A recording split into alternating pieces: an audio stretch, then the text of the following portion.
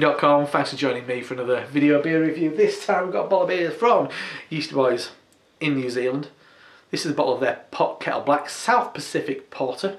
6% ABV. Wanted to make sure I reviewed this beer. Um, I've had I've had it a number of times before. It's lovely stuff.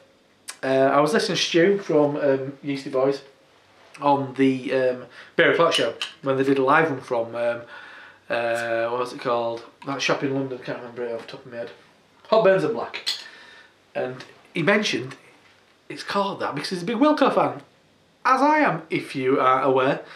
And that's Stu, if you, I hope you see this. Um, you'll have noticed my intro music has always been a little snippet from uh, Wilco's Heavy Metal Drummer. So I wanted to make sure I review this. Anyway, beer the glass. It's pretty damn dark for a porter. I mean, especially at six percent. I go, yeah, I'm gonna go black with a. Yeah, I can't see anything through that hint of crimson towards the edges. Nice kind of ash-like kind of head on that. So as far as the aroma goes, that's nice. There's an earthiness to it. There's a slight kind of flat cola note going on there. Mushroom, cocoa powder. Kind of it's like carbon note, kind of um, like charcoal left over from a like a fire the previous night. Spent coffee grounds. But yeah, something keeps coming back to me is cocoa powder and mushrooms. Anyway, not in a bad way. Anyway, let's dive in. Cheers.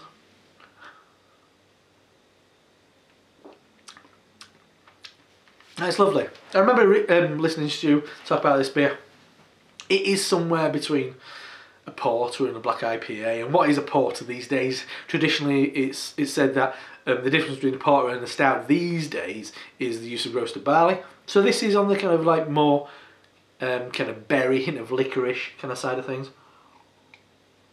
Really clean though, really crisp. That kind of like burnt carbon edge to it, as I said.